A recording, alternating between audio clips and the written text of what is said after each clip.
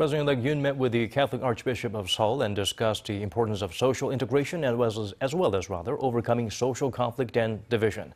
Peter Chung Soon-taick expressed hopes the incoming government will work to help the marginalized.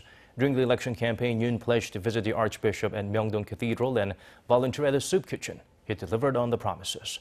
The president-elect plans to visit the Archbishop again after inauguration. Yoon also held a phone with the Dutch Prime Minister and discussed cooperation on semiconductors as well as North Korea's ICBM test. Mark Rutte invited him to the Netherlands.